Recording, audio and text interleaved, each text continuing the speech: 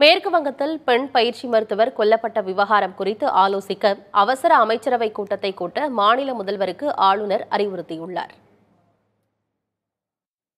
உயிரிழந்த பெண் பயிற்சி மருத்துவருக்கு நீதி கிடைக்க வேண்டும் என பொதுமக்கள் வலியுறுத்தி வரும் நிலையில் அவசர அமைச்சரவை கூட்டத்தை கூட்டி பொதுமக்களின் வேண்டுகோளை நிறைவேற்ற உறுதியான நடவடிக்கை எடுக்கும்படி முதலமைச்சர் மம்தா பானர்ஜிக்கு மேற்கு வங்க ஆளுநர் அனந்தபோஸ் அறிவுறுத்தியதாக கூறப்படுகிறது. அதோடு இந்த விவகாரத்தில் உரிய நடவடிக்கை எடுக்கவில்லை என கொல்கத்தா மாநகர காவல் ஆணையர் வினித் கோயல் மீது பொதுமக்கள் குற்றஞ்சாட்டி வரும் நிலையில் அவரை நீக்கி புதிய காவல் ஆணையரை நியமிப்பது குறித்து முடிவு எடுக்கவும் ஆளுநர் அனந்தபோஸ் அறிவுறுத்தியிருப்பதாக தெரிவிக்கப்பட்டுள்ளது.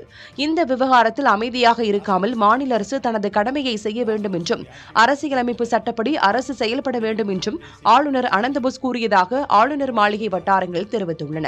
கொல்கத்தாவில் உள்ள மருத்துவமனை ஒன்றில் பெண் பயிற்சி மருத்துவர் பாலியல் வன்கொடுமை செய்யப்பட்டு கொலை செய்யப்பட்ட சம்பவம் பெரும் அதிர்வலைகளை ஏற்படுத்தின. இந்த சம்பவத்தை கண்டித்து தொடர் போராட்டங்கள் நடைபெற்று வரும் நிலையில் இந்த அறிவுறுத்தலை ஆளுநர் தற்போது வழங்கியுள்ளார்.